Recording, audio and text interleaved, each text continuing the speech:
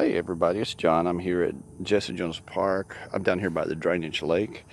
And if you're found this video, you're probably wondering what you could do to avoid snakes when you're off trail, trekking around, and you don't want to step on them.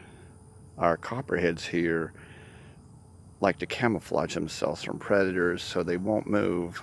A lot of the non-venomous snakes will move when they hear you coming through because you simply make as you walk, vibrations to the ground.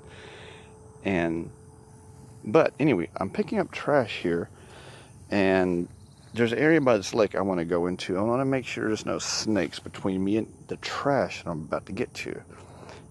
And right now, all I have is a big trash bag. So, one thing you could do to make sure there's nothing in that grass is drop a bomb on it. But no, beside that, you could actually take something big like a stick or i I'm using a trash bag and kind of just throw it and run it through the grass. Throw it to where it will throw make a hit.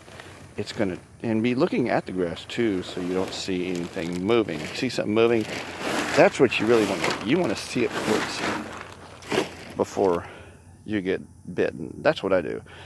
And so I'm going to assume this is cool to go through because I don't see anything moving.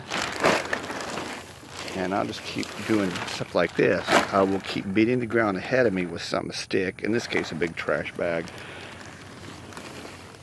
About half full of trash. Until I can get to where I need to go. And getting back out the trail the same way. Alright, hope you enjoyed this.